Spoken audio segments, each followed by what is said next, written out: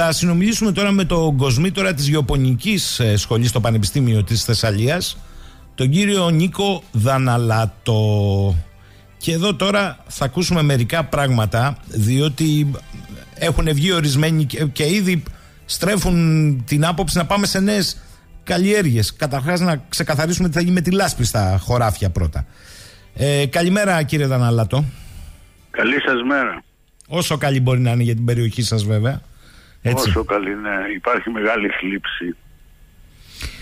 Κύριε καθηγητά, πείτε μου καταρχάς, έχοντας έτσι μια εικόνα πια πενθήμερη, κατά τη γνώμη σας, τι δεν πήγε καλά ή όλα πήγαν στραβά; Ε, ναι, ε, τι, τι, να πω τώρα, όλα πήγαν στραβά.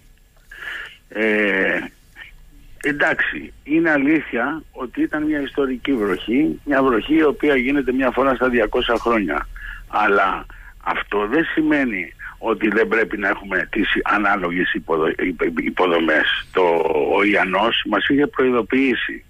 Η κλιματική αλλαγή, η κλιματική κρίση, ή η δράκος, ή η κυβωτός, ή το ΝΟΕ, ή δεν ξέρω πώς θα το χρησιμοποιήσουμε, αυτό έχει παλιώσει από το 1995 και το 2000 μιλάμε για την κλιματική αλλαγή, γράφουμε, δημοσιεύουμε σε περιοδικά, ακόμα και στο ΝΑΤΟ έχουμε δημοσιεύσει και αυτό είναι ένα παλιό θέμα πλέον. Δεν μπορούμε να κρυβόμαστε πίσω από εκεί.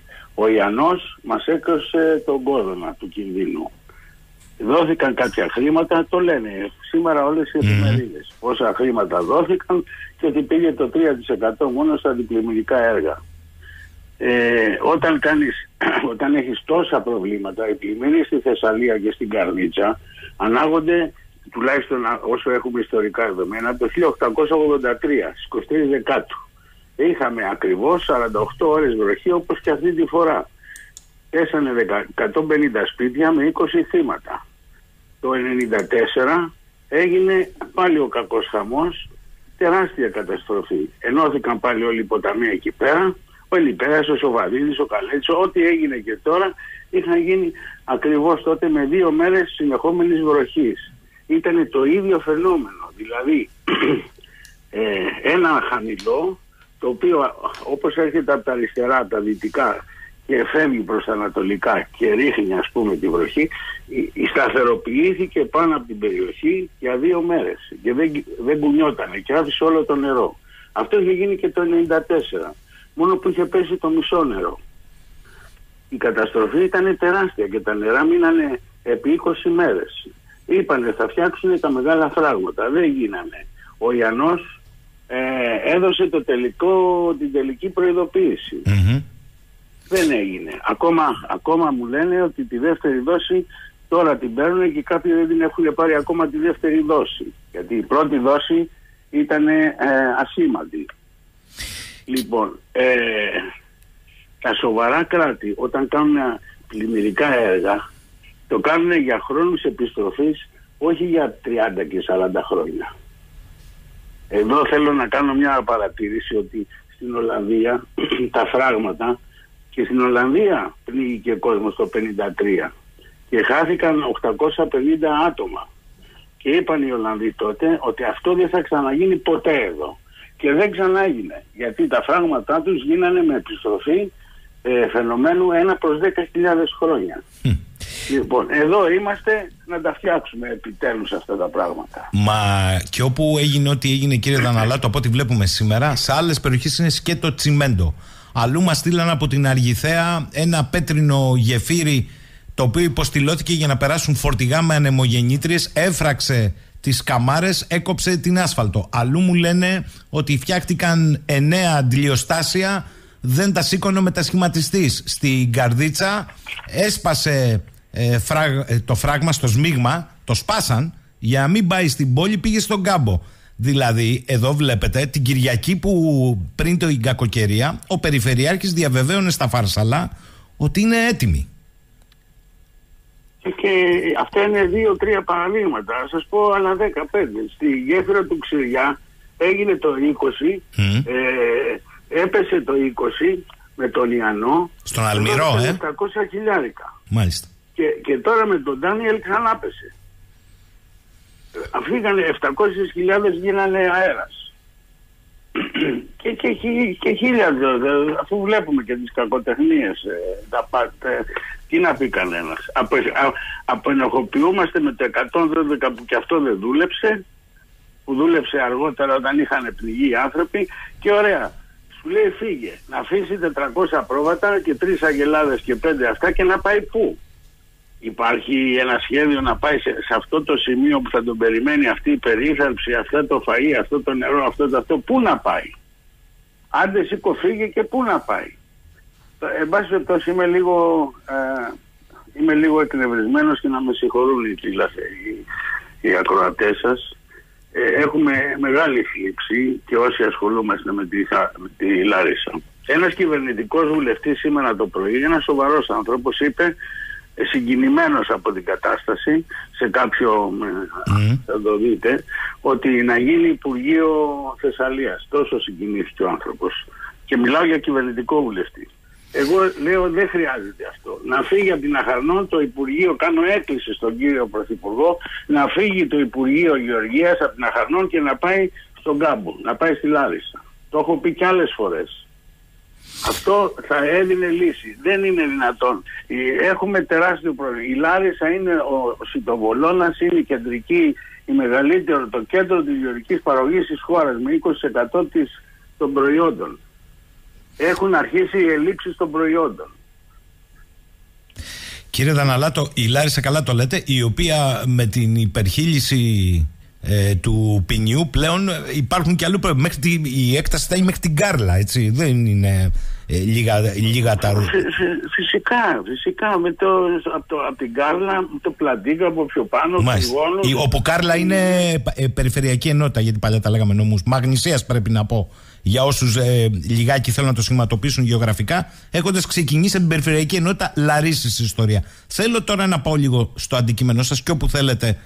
Και μιας και σας έχω, θα σας ρωτήσω και για τις πυρκαγιές στη συνέχεια, αλλά θέλω να σας ρωτήσω, διότι ήδη γίνονται κάποιες διαστασιολογήσεις της καταστροφής, μας είπατε. Εγώ αισθάνομαι ότι αυτό που έχει συμβεί στο Θεσσαλικό κάμπο ε, έχουμε να το δούμε από τη γερμανική κατοχή. Είναι υπερβολή. Όχι, είναι τεράστιο το είναι τεράστια η ζημιά.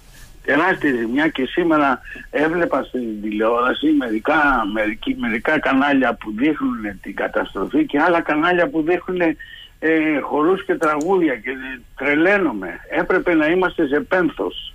Η Θεσσαλία θρυνεί αυτή τη στιγμή. Στη Θεσσαλία έχουμε 3,5 εκατομμύρια στρέμματα, εκ των οποίων το 1,700 το πολύ δύο είναι τα, τα, τα αρδευόμενα πρώτης ποιότητας ε, χωράφια και χάσαμε τα 750.000 δηλαδή πάνω από το 30-35% γόνιμης αρδευόμενης έκτασης.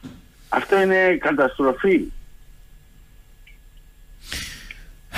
Και το ζωικό κεφάλαιο από την άλλη, ε; Το ζωικό κεφάλαιο. Πόσοι άνθρωποι ε, χάσανε τα ζώα τους. Οι τυροκόμοι που δεν μπορούν να κάνουν χάσανε τα τυροκομεία τους και, για, και χάσανε και την προμήθειά τους γιατί χαθήκανε και τα ε, οι κτηνοτρόφοι.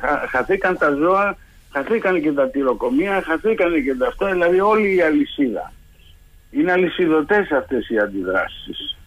Άρα, και, ναι, ναι. Ναι, συγγνώμη. Όχι και χάθηκε, ναι, σε πολύ, το κεφάλαιό του σε πολύ μεγάλο. Τώρα κάποιος που έχασε τώρα 50 ζώα μεγάλα ή 400 πρόβατα κτλ. Αυτά είναι τεράστιες ζημιές. Και δεν ε. ξέρω πόσο γρήγορα.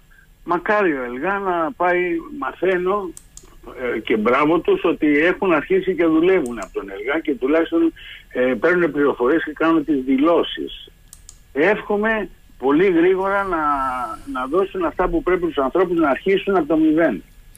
Πείτε μου σας παρακαλώ πάρα πολύ, ε, προφανώς και έχει επίπτωση και στο ακαθάριστο εγχώριο προϊόν, ε, αλλά όπως είπατε σωστά οι ελλείψεις θα αρχίσουν να φαίνονται και στα αράφια, συνεπία και των άλλων καταστάσεων που έχουμε ε, τον, πόλεμο και τα, τον πόλεμο των σιτηρών με επίκεντρο την Ουκρανία. Τώρα εδώ γίνεται ακόμη περισσότερο και βεβαίως και οι κλασικές καλλιέργειες και έχει ανοίξει μια κουβέντα. Ακούω κάποιους επιστήμονες και θέλω εδώ τη γνώμη σας τώρα ότι εντάξει ρε παιδί μου σε 8 μήνες, ένα χρόνο θα έχει αναταχθεί. Είναι έτσι απλό; Κοιτάξτε, η καλή, το έδαφος, τα εδάφη, το χωράφι σαν παραγωγικό σύστημα ε, δεν ακυρώνεται.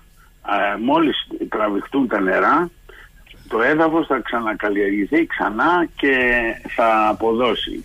Αλλά, υπάρχει ένα αλλά, ότι στα εδάφη τα οποία έχουν πληγεί, ανάλογα την απόσταση από το ποτάμι, ανάλογα το πάχος της τρώσης και το είδος της τρώσης, ναι. ε, ε, θα έχουν κάποια μείωση από έως μέχρι και μπορεί και 50% από 10 έως και 50% ε, αυτή είναι μια πρόχειρη εκτίμηση όπως καταλαβαίνετε της παραγωγικότητάς του και εξηγούμε για να γίνω πιο κατανοητός εκεί που η στρώση είναι ξέρω εγώ 20 εκατοστά και το αλέτρι κατά το, την άρρωση πάει στα 30 εκατοστά εύκολα θα γίνει μια αναμόχλευση με το, με το, με το υπόστρωμα δηλαδή το έδαφος το κανονικό και εν πάση περιπτώσει αυτό δεν θα έχει τεράστιο πρόβλημα εκεί όμως που είναι κοντά στο ποτάμι, που οι φερτές, τα εφερτά υλικά είναι 50 και 60 εκατοστά. Τα έχουμε δει και τα έχουμε δει και σε, στον Ιαννό.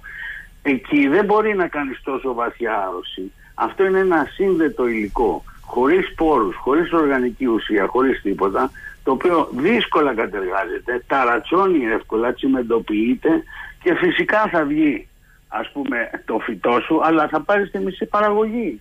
Και αυτό είναι καταστροφή. Διότι το μισό συνήθως τη μεγάλη καλλιέργεια, το μισό της παραγωγής είναι το κόστος. Επομένως, αν έχεις και 30% πτώση παραγωγής, είναι, είναι σοβαρό θέμα. Και θα έπρεπε και αυτό το πράγμα ο ΕΛΓΑ με τους ειδικούς εδαφολόγους να το δει τα επόμενα χρόνια. Ε, βρίσκεται και μία διαφοροποίηση συγγνώμη, στο κομμάτι που αφορά τον κάμπο τα χωριά του κάμπου στην Καρδίτσα και το λέω με την έννοια ότι ως γνωστόν η Καρδίτσα είναι ο πάτος, ας το πω έτσι σχηματικά, του, του κάμπου. Ε, βρίσκεται εκεί έτσι περαιτέρω προβλήματα; Ένα πρόβλημα βασικό είναι πότε θα φύγει το νερό για να γίνει σπορά των χειμερινών καλλιεργιών. Η χειμερινή καλλιέργεια στα χωράφια αυτά γίνεται περί τις 15 Νοεμβρίου κατά μέσον όρο. Όταν λέμε χειμερινή, εξηγήστε στον κόσμο τι βάζουν. Ε, ε, χειμερινά σιτηρά. Το σιτά, στάρι, κρυθάρι, σίταλι βρώμη. Ε, αυτά είναι τα σιτηρά τα χειμερινά και βάζουν και τα χειμερινά τα όσπρια, ε, τις φακές το, τα κουκιά, τα ρεβίθια κτλ. Αυτά μπαίνουν το Νοέμβριο ε, τα νερά θα έχουν φύγει τον Νοέμβριο. Δεν είναι μόνο να φύγουν από την επιφάνεια τα νερά, είναι και το έδαφος να έρθει σε αυτό που λέμε το ρόγο του, δηλαδή να έρθει σε μια υγρασία που να είναι χειρίσιμο, να είναι καλλιεργήσιμο. Να μην είναι μουλιασμένα τα εδάφη, να το πω εγώ λαϊκά. Μάλιστα. Ακρι, ακριβώς. Μάλιστα. Ε, βεβαίως θα μπορούσαν να σπείρουν και πιο αργά, και το Δεκέμβρη και το Γενάρη. Όμως για κάθε μήνα που καθυστερούμε τη σπορά, στο Στάρι ας πούμε σαν παράδειγμα αντί να πάρουμε 500 κιλά θα πάρουμε 300 θα πάρουμε 200 αν πάμε να σπείρουμε το Γενάρη επομένως υπάρχει ένα θέμα εκεί το δεύτερο θέμα είναι με τα εαρινά φυτά που θα σπείρουμε του χρόνου τον Απρίλιο, το καλαμπόκι, το βαμβάκι, τη μυδική, ε, τα εαρινά, τον ηλίανθο και ούτω καθεξής. Αυτά τώρα, εκεί που σας είπα ότι έχουμε αυτή η στρώση, αν η στρώση είναι πολύ μεγάλη, εκεί θα έχουμε πρόβλημα στη διαχείριση. Θα έχουμε μικρότερες αποδόσεις. Δεν θα κυρωθούν τελείως τα εδάφη, θα καλλιεργηθούν και μέσα σε 2, 3, 4 χρόνια θα επανέλθουν σιγά σιγά με την ε, ε, προσήκουσα ας πούμε κατεργασία ε, τις κάπως αυξημένες εισδροές, θα βάλουν κάποια οργανική ουσία θα κάνουν κάποιες ε, μειωμένες κατεργασίες. Υπάρχουν, υπάρχει τεχνολογία για αυτά. Δεν χρειάζεται να τρώω τώρα το χρόνο σας. Θα επανέλθουν. Όμως υπάρχει ένα σοκ. Τα πρώτα δύο-τρία χρόνια, τέσσερα, εξαρτάται πόσο κοντά είναι στο ποτάμι. Πόσο είναι το πάχος της μάκας αυτής, της λασπης ε, και, ε, και το είδος αυτή, αυτού του πράγματος, αν έχει πολύ υλή, ας πούμε, υλής, αυτό ταρατσώνει δηλαδή το, ε, το οργώνεις και μετά από ένα μήνα με τις πρώτες δοχές γίνεται μια ταράτσα και δεν φυτρώνει ούτε το μισό ή ξέρω εγώ η ανάπτυξή τους δεν είναι σωστή. Ε, είναι λεπτομέρειες της γεωπονίας αυτές και ξέρω ότι υπάρχει και αντίλογος από κάποιους α, ε, σχετικούς άσχετους τέλος πάντων αλλά πιστέψτε με έτσι είναι τα πράγματα γιατί εγώ έχω σπουδά, είμαι δαφολόγος έτσι και, και του πεδίου μάλιστα. Το ξέρουμε αυτό κύριε Δαναλάτο. Εγώ θέλω να σας ρωτήσω αυτά η, η, υπό την αίρεση ότι οι αγρότες, οι παραγωγοί έχουν εργαλεία. Θέλω να πω, πρώτα πρώτα έχουν τα δικά τους εργαλεία γιατί έχουν καταστροφή στα μηχανήματα. Ε, όχι κοστοβόρα αγροεφόδια, εδώ θα μπουν τα άλλα ζητήματα, διότι και αυτά που είχαν έχουν καταστραφεί τώρα. Γενικώς το θέμα δεν είναι έτσι απλό. Άντε να, να στεγνώσει το χωράφι και μπήκα μέσα. Πώς θα μπω, με τι μηχανήματα; Ναι, ναι, βεβαίως, βεβαίως. Έχουμε προβλήματα στις πομόνες, στις αντλίε, μέχρι και στις αποθήκες που έχουν σιτηρά άνθρωποι, πολλοί μου mm. έχουν πει, στον Παλαμά παραδείγματος χάρη, έχασε 10 τόνους ο άλλος όλα τα σιτηρά στην αποθήκη. Ε, πράγματα που είναι μέσα στις αποθήκες, εξοπλισμοί, μηχανήματα, ακόμα, ακόμα και μερικά τραχτέρ, μικρά τραχτέρ, έχουν υποστεί πολύ μεγάλες ζημιές. Επομένως, ε, είναι και ο πάγιος εξοπλισμός mm. της φάρμας, η οποία και αυτή έχει καταστραφεί, ε, και καταστραφεί, είπαμε, στο 30% του κάμπου ήμαρτων. Ε, είναι τεράστιο, τεράστια η καταστροφή αυτή. Είναι τεράστια. Ε, το ίδιο ισχύει βεβαίως και για τις μονάδες του ζωικού κεφαλαίου, είτε κτηνοτροφία είτε πτηνοτροφία. Ε. Και εκεί είναι μεγάλα τα ζητήματα. Βεβαίως και εκεί είναι μεγαλύτερε. Μικρότερες οι μονάδες σε αριθμό, ναι, ναι. αλλά πολύ μεγαλύτερο το κόστος. Και, και οι άνθρωποι τώρα θα πρέπει να αγοράσουν σπόρους και λιπάσματα και φυτοφάρμακα να προκαταβάλουν για την επόμενη καλλιέργεια. Εάν δεν πάρουν νωρίς κάποια αποζημίωση, να αρχίσουν να αρθοποδεί, πώς θα, πώς θα, πώς θα αγοράσουν τα απαραίτητα εφόδια. Ε, ε, είναι θέμα μεγάλο. Εδώ θέλω να μου πείτε κύριε Δαναλάτο, αυτό δεν θα προκαλέσει άλλη σιδωτά αύξηση στις τιμές ακόμη και στα ράφια το, του μεγάλου αστικού κέντρου που λέγεται Αθήνα και Θεσσαλονίκη και Αλαχού; Δεν θα έχουμε μετακύληση των αυξήσεων πολύ γρήγορα; Ακρίβεια. Ε, Αφού θα έχουμε λήψεις. Θέλω να είμαι έτσι αυτό να προμηνήσω άσχημα, αλλά ήδη κάποιοι μπορεί να το έχουν παρατηρήσει ήδη στη, στα ράφια. Ε, πολλά προϊόντα προχώρησαν από τη Θεσσαλία πλέον γιατί όπως ξέρετε τα προϊόντα δεν έρχονται για μισό χρόνο και τα λοιπά έρχονται κάθε εβδομάδα, κάθε δύο-τρεις μέρες έρχονται προϊόντα ε, εγώ δηλαδή τώρα που πήγα να ψωνίσω ε, αυτό μου είπε α, ο Μπακάλης ότι ευτυχώς έρχονται από την Κρήτη τώρα τα προϊόντα και είχε μείωση στα, ε, σε διάφορα λαχανικά.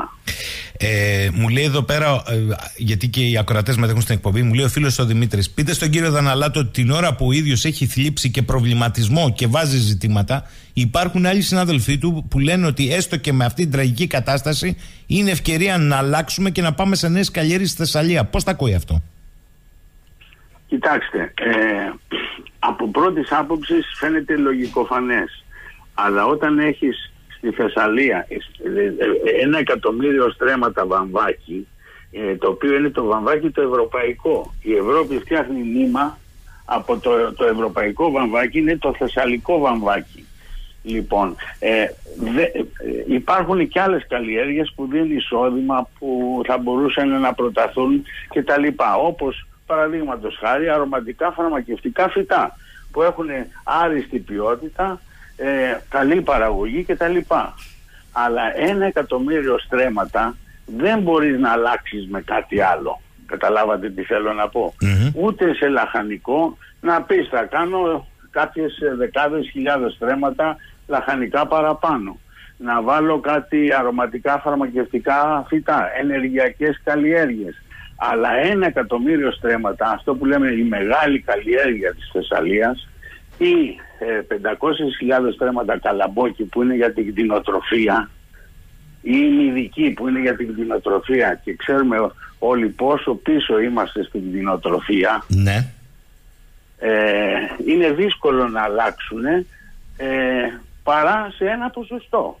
Κανείς δεν θα έχει αμφιβολία ότι θα μπορούσε να γίνει μια αναδιάρθρωση ενός μέρους της μεγάλης καλλιέργειας. Και έχει γίνει και γίνεται.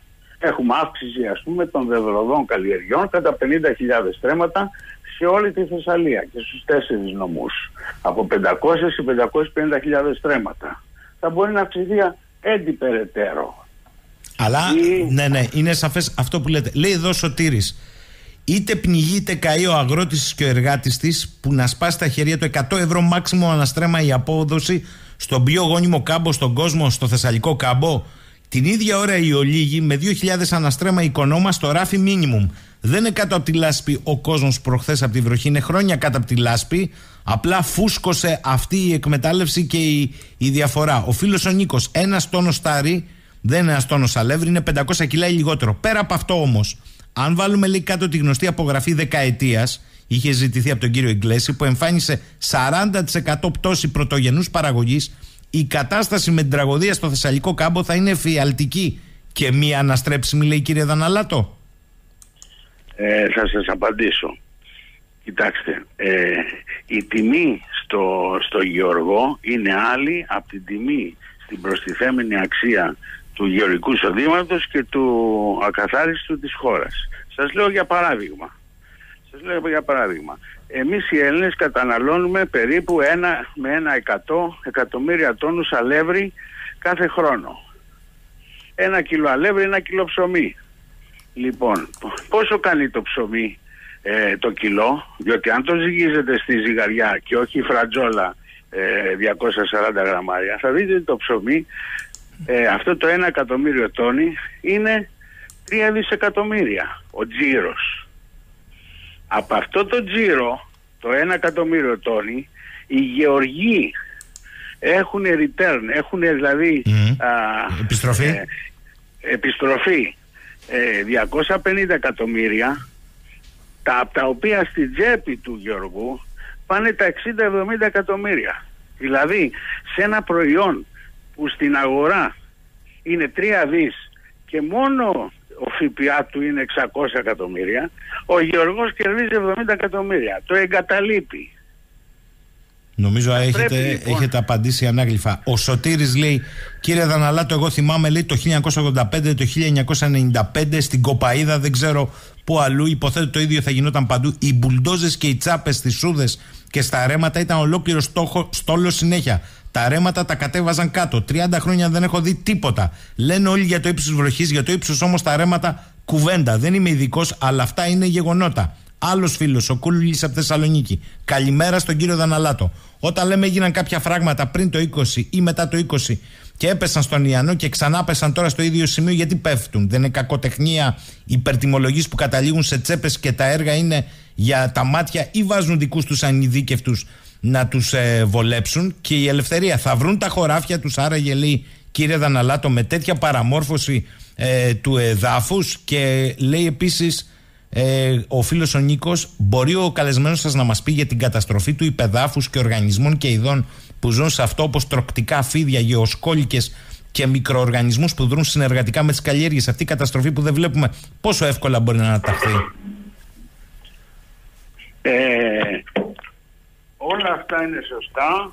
Ε, δεν έχω να πω τίποτα λιγότερο από τις παρατηρήσεις των ε, ακροατών ε, θα ήθελα να επιμείνω λίγο σε ναι. αυτό που είπα και μου είπατε ότι είναι ανάγλυφο γιατί πραγματικά αυτό πρέπει να το δούμε θα πρέπει να στηριχθεί η γεωργική παραγωγή με κάποιο τρόπο ε, ε, χάνουμε τη γεωργική παραγωγή διότι ο γεωργός δεν ωφελείται τελικά ενώ το κράτος η χώρα χάνει τεράστιο ποσά από το για κάθε στρέμμα που φεύγει δεν είναι το ποσό που παίρνει ο παραγωγός.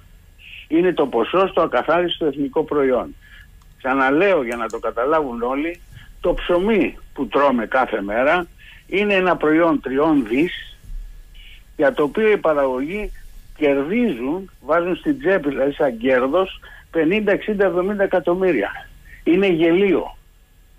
Και φυσικά χάνουμε την αυτάρκειά μας. Και ε, ε, φέρνουμε από την Ουκρανία από εδώ και από εκεί. Θα πρέπει αυτό το πράγμα να το δούμε. Και είναι το ίδιο πράγμα και για το βαμβάκι και για το καλαμπόκι και για τη μυδική και για τα περισσότερα φυτά και καλλιέργειες. Ο Νίκος λέει, κύριε Δαναλάτο, τι θα γίνει με τις μολυσματικές ασθένειες που συνήθως αναπτύσσονται σε ελώδει περιοχές; Τα νερά αυτά πέρασαν μέσα από χαματερές, βόθρους και υπονόμου ξεχύλισαν. Δεν θα έχουμε και ένα θέμα τέτοιο, λέει. Τεράστιο θέμα από ότι ε, δεν είμαι ο δικότερος ναι, να ναι, ναι. αυτό, αλλά μεταφέρω αυτά που βλέπω και ακούω στην τηλεόραση από το Μαγιορκίνη, από τη Λινού και όλα αυτά. Αυτά που βλέπουμε όλοι δηλαδή και που φαίνεται και από τις εικόνες που έρχονται από τον Παλαμά και τα υπόλοιπα χωριά που ζέει εκεί, ε, βρωμάει, είναι ζώα πεταμένα στο δρόμο, ε, τα μαζεύουν, άλλοι δεν τα μαζεύουν, ε, δεν, ε, δεν μπορείς να κυκλοφορήσεις. Αυτό το πράγμα θα πρέπει γρήγορα να επανέλθει, το νερό να καθαριστεί, διότι δεν είναι ήδη μια εβδομάδα και ακόμα δεν έχουν νερό να κάνουν τα στοιχειώδη. Στα χωριά της Καρδίτσας που έχουν πλημμυρίσει και από κατά τεκμήριο θα φύγει τελευταίο το νερό. Βλέπετε ότι μπορεί αυτή η ιστορία να τραβήξει και πάνω από μήνα; Ε, κοιτάξτε να δείτε. Ανάλογα το πόσο κοντά είναι στο ποτάμι και τη φύση του εδάφους και το υπόγειο νερό. Μπορεί σε μερικές περιπτώσεις να κάτσει και 20 μέρες και παραπάνω. Ε, κάτι όμως που δεν έχει πει κανένας και που θέλω να το πω μέσα από την εκπομπή σας είναι το εξής ότι τα εδάφη και τα ορεινά αλλά και η παιδιάδα έχουν πληρωθεί με νερό τώρα. Τι σημαίνει αυτό; Σημαίνει ότι η ικανότητα διηθητικότητας περαιτέρω νερού σε μια επόμενη βροχή όχι τόσο δυνατή, ούτε και στη μισή, το εν τρίτο να είναι, ναι. μπορεί να έχουμε πολύ άσχημα αποτελέσματα. Γιατί δεν θα μπορέσει το έδαφος να κατεβάσει το νερό κάτω. Είναι ήδη επιβαρημένο, έχετε δίκιο. Η απορρόφηση θα γίνει προβληματική. Ε, ένα καλό νέο που έχουμε είναι ότι για το επόμενο οκταήμερο, μας έλεγε ο κύριος Λαγκουβάρδο προηγουμένως, δεν προβλέπονται βροχές στη χώρα. Και αυτό, αλλά έρχεται το φθινόπωρο. Δεν είναι, ναι, ναι. ξέρετε, δεν είναι θέμα οκταήμερο αυτό. Σωστό, όμως, σωστό. Γιατί, να σας πω γιατί.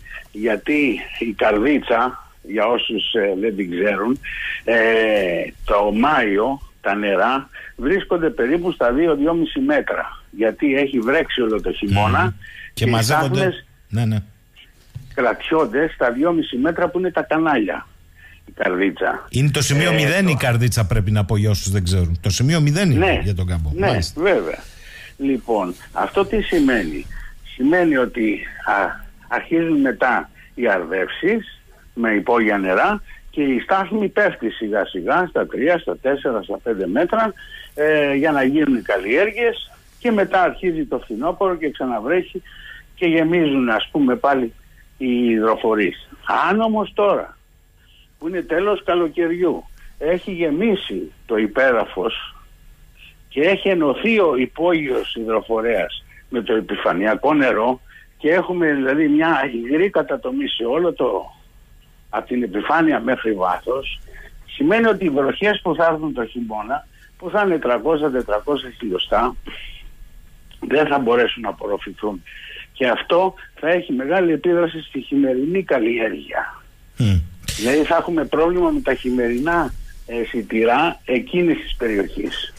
Λέει εδώ ο φίλος Μοθάνος, στη Θεσσαλία έχουν μείνει οι παλιοί αγρότες και λίγα νέα παιδιά. Ποιος από αυτούς να αλλάξει την παραγωγή; Μην ξεχνάμε ότι η Θεσσαλία έχει και εργοστάσιο τομάτα, όπου οι αγρότες μπορούν να δουν άμεσα το εμπόρευμά τους και είχε και πέντε κοκκιστήρια. Τα δέντρα, όπως λέει ο κύριος καθηγητής, χρειάζονται 4-5 χρόνια να σου δώσουν καρπό που αρχικά δεν θα σε καλύπτει με τα κόστη, γι' αυτό δεν προτιμάται από τους μεγαλοκτηματίες. Στην καρδίτσα, όσοι είχαν λίγα στρέμματα, τα έχουν πουλήσει, βάζουν μερικά δέντρα για έξτρα εισόδημα. Άλλος φίλος, ο Σάκης, λέει: Η ίδια η Ευρωπαϊκή Ένωση πληρώνει να πετάμε τα αγροτικά προϊόντα στις χωματερές. Είναι έγκλημα που το είδα να πετά στροφή. Την ίδια ώρα η Ευρωπαϊκή Ένωση δεν της καίγεται καρφί τι έγινε. Ο Ντάιζεμπλουμ κυνήγησε τη φουφού με τα κάστανα ότι όλα αυτά τα ψεύτικα έργα της Ευρωπαϊκής Ένωσης που έχουν μια ταμπέλα 50 τετραγωνικά κάθε έργο με την επίβλεψή της και τελικά είναι στον αέρα, δεν μας λέει κάτι. Ο Δημήτρης, από πού αντλούνται τα στοιχεία κατανάλωση και παραγωγή στην ελληνική αγορά, Υπάρχει κάποια βάση ή επίσημη αρχή που γνωστοποιεί αυτά τα στοιχεία; Η ποιότητα του υπέδαφους καταλήγει στην ποιότητα. Συνεπώς, το βαμβάκι, για παράδειγμα, που ανέφερε ο αγαπητός καλεσμένος σας, δεν, θα έχει, δεν θα έχει ποιότητα. Αποτέλεσμα, η Ευρωπαϊκή Ένωση να στραφεί σε άλλες αγορές. Ε, Άλλος φίλος λέει εδώ πέρα, κύριε Δαναλάου, τα ακούσετε όλα για να απαντήσετε ε, συνολικά, ότι η εικόνα που έχουμε αυτή τη στιγμή από το πριν και το μετά στο γκάμπο της ε, Καρδίτσας μας δείχνει ότι ουσιαστικά αν δεν το έχουν καταλάβει οι Αθηναίοι ο κάμπος έχει καταστραφεί και να μην περιμένουν. Αρχίζω από το τελευταίο. Όντως, σας είπα και εγώ ότι για, στα 2 εκατομμύρια στρέμματα αεγόλυμη αλληλευτική γης, τα 750.000 στρέμματα έχουν πάθει αυτή τη ζημιά τώρα. Φέτος είναι καταστροφή και τα επόμενα χρόνια μια, ένα μεγάλο μέρος από αυτά τα εδάφη θα έχουν προβλήματα στην απόδοσή τους, κατά τη γνώμη μου. Ε, τώρα, για το βαμβάκι, ναι, η αλήθεια είναι ότι το βαμβάκι θα έχει πολύ χαμηλή έως καθόλου ποιότητα, αν υπάρξει βαμβάκι και η Ευρωπαϊκή Ένωση αναγκαστικά θα στραφεί στην Αίγυπτο, στο Ισραήλ και στο Ουσμπεκιστάν και σε άλλες αγορές. Τα προβλήματα της ελληνικής γεωργίας βεβαίως υπάρχει τεράστιο πρόβλημα στην, ε, στην όλη διάρθρωση της γεωργίας. Ε, υπάρχει ένα σχετικό αλαλού. Σας θυμίζω ότι μέσα σε λίγα χρόνια εξαφανίστηκε το, ζαχαρο, το, το, το, η ζάχαρη. Ήμασταν αυτάρκοι στην παραγωγή ζάχαρης και δεν έχουμε ζάχαρη. Εισάγουμε όλη τη ζάχαρη. Mm. Τομάτες. Εισάγουμε για κάθε κιλό τομάτα που παράγουμε, εισάγουμε και άλλο ένα κιλό από την Τουρκία. 140-200 ε, εκατομμύρια δαπανίσαμε πέρσι σε εισαγωγή τομάτας. Ε, και πάνω σε αυτό να σας πω και μια εμπειρία που έχω ότι όταν πρώτο έγινα λέκτορας το 96 θυμάμαι τότε πως τα θερμοκήπια στην Ελλάδα ήταν 45.000 στρέμματα. Σήμερα κοντεύω να πάρω σύνταξη σε δύο χρόνια τα θερμοκήπια δεν έχουν φτάσει τα 50.000 στρέμματα. Τότε η Τουρκία είχε 20.000 στρέμματα θερμοκήπια και σήμερα έχει 650.000 στρέμματα θερμοκήπια. Επομένως ε, είναι τεράστια τα προβλήματα. Χρειάζεται ξανά επανακαθορισμός των πάντων. Επανακαθορισμός και όταν λέμε στροφή στον πρωτογενή τομέα, έργα υποδομής και αντιπλημμυρικά, αλλά έργα υποδομής σοβαρά για να μπορέσει να μείνει ο νέος και να παράξει. Διαφορετικά γιατί να μείνει. Και, πάνω σε αυτό να συμπληρώσω ότι όταν λέμε ότι η προστιθέμενη αξία του παραγωγού είναι χ, τότε η προστιθέμενη αξία στο δευτερογενή τομέα, το λέει ο Ιωβέ αυτό, είναι mm. επί 3 και στο ακαθάριστο με τους πολλαπλασιαστές είναι επί 6. Που σημαίνει ότι όταν ένας γεωργός παίρνει 200 ευρώ κέρδος το, το στρέμα, ε, αυτό είναι ε, 1200 ευρώ στο κοινωνικό σύνολο. Ε, δεν μπορεί λοιπόν επομένως ε, να του δίνεις 200 ευρώ για να φεύγει από την καλλιέργεια και να πάει να κάνει φωτοβολταϊκά γιατί τότε χάνει όλο το σύστημα. Μάλιστα. Εντάξει, εκτός αν είναι κεντρική σου στρατηγική επιλογή, φύγετε εσείς να μπουν φωτοβολταϊκά.